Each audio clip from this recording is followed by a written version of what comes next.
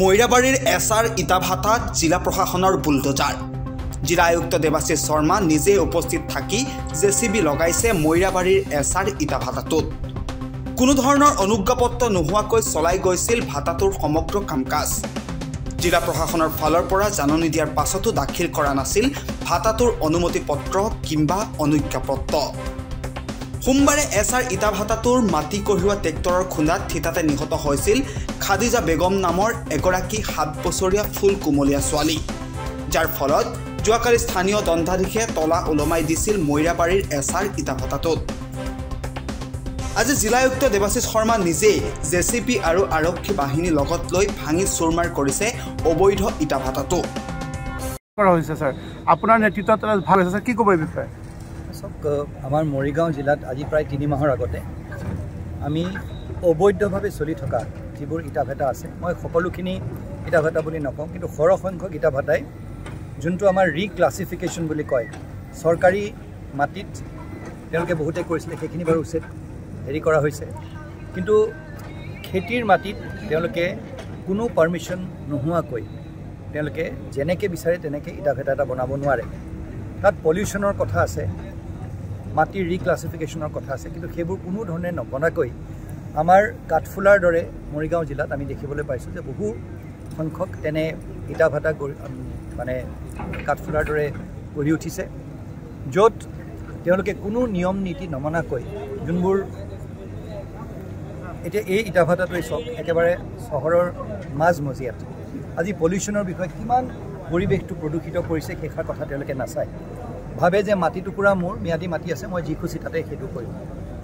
তাৰ লগতে যোৱা পৰহি যোনটো কৰুণ ঘটনা ঘটিলে সেই তাত মই আচৰিত পাইছোঁ যে কণমানি সেই শিশুটিৰ মৃত্যুৰ পিছতো মোক ইয়াত বহুতো ৰাইজে এটা কথা ক'লে যে মৰিলে যদি মৰিলে আৰু কিন্তু তাইক এতিয়া ইটা ভেটাটো আপুনি একো কৰিব নালাগে। ইটা ভেটাটোৰ কোনো কাগজ পত্ৰ একো নাই। আজি এনেধৰণেৰে তেওঁলোকৰ এটা কথাই আমি শুনিবলৈ পাওঁ যে ফিল্ডত তেওঁলোকে মেনেজ কৰি লয়। এই ফিল্ডৰ মেনেজমেণ্ট যোনটো এইটো অত্যন্ত এটা নিকৃষ্ট কথা।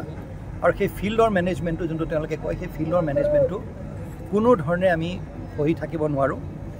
আৰু মৰিগাঁও জিলাত যে যোনটো ফিল্ড মেনেজমেণ্টৰ কথা হৈছে আমি যদি গম পাওঁ মই স্থানীয় ৰাইজকো এষাৰ কথা কৈছোঁ আমাক জনাব। তাৰ বিধিগত ব্যৱস্থা আমি নিশ্চয় ল'ম আৰু কোনো লাইচেঞ্চ নোহোৱাকৈ কোনোবাই যেনিবা অকণমান গাড়ীখন চলাবলৈ শিকিছে ট্ৰেক্টৰখন চলাবলৈ শিকিছে তাত কোনো তেওঁ লাইচেঞ্চ আছেনে নাই একো কিবা আছেনে নাই সেইটো নোচোৱাকৈ তেওঁলোকে গাড়ীখন চলাবলৈ দি দিয়ে। J C B operator dumper truck operator চল তাৰপিছত ট্ৰেক্টৰ চালক এই গোটেই সৰহসংখ্যক মানুহৰ কোনো লাইচেঞ্চ নাই। আৰু অবৈধভাৱে আমাৰ গোটেই ৰাস্তাবোৰ যোনবোৰ পি ডব্লিউ ডি ৰাস্তাবোৰ দেখিছে এই ৰাস্তাবিলাক তেওঁলোকে অভাৰলোড কৰি পেলাই ভাঙি পেলায়। সম্পূৰ্ণভাৱে এটা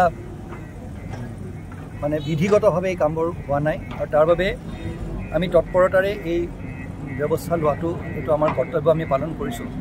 আৰু মৰিগাঁও জিলাত এনেকুৱা ধৰণৰ কথা আমি টলাৰেট নকৰোঁ। যদি কিবা আমি দেখিছোঁ আমাৰ চকুত ধূলি মাৰিবলৈ বহুতে চেষ্টা কৰিব এষাৰ কথা মই জানো। কিন্তু যি ব্যৱস্থা ল'ব লাগে সেই ব্যৱস্থা আমি নিশ্চয় ল'ম। আৰু এটা তেওঁলোকৰ অকল টকাৰ বল থাকে বুলি আজি দুখীয়া দৰিদ্ৰ এজন মানুহৰ সেই কন্যা শিশুটিৰ কোনো ভেলু নাই।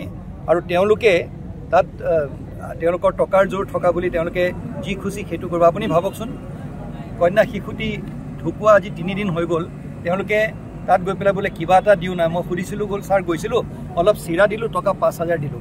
যোনজন মালিক আছিলে সেই মানুহজন ফৰাৰ তেওঁ নাই ইয়াত। দায়িত্ব হ'ব লাগিছিলে যদি প্ৰকৃততে তেওঁ ভাল মানুহ হ'লহেঁতেন তেওঁ আহি পেলাই তেওঁলোকক লগ ধৰিব লাগিছিলে কিবা সহায়ৰ হাত আগবঢ়াব লাগিছিলে। ভতিজাক কেইটামানক পঠিয়াই দিছে চিৰা দিছে বোলে টকা পাঁচ হাজাৰ দিছে।